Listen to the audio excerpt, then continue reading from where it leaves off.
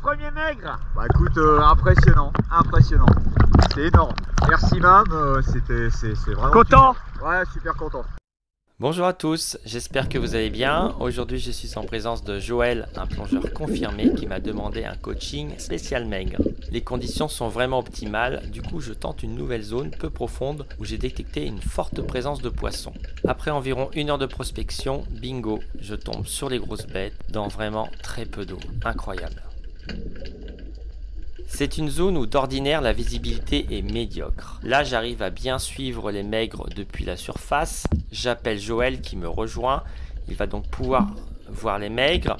Il va suivre une petite troupe pendant que moi je vais descendre en apnée, essayer de suivre et filmer des gros. Donc ça n'a pas l'air comme ça mais euh, on palme quand même à bon rythme pour suivre les animaux.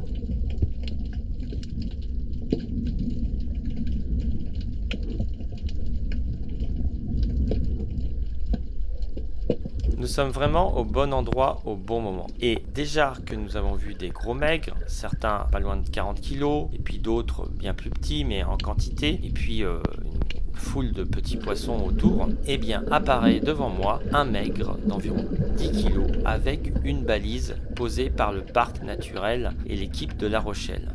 Quand ces balises se décrochent ou sont récupérées par des pêcheurs, cela permet d'avoir des informations sur les déplacements euh, des maigres, les profondeurs, les températures et plein de choses comme ça.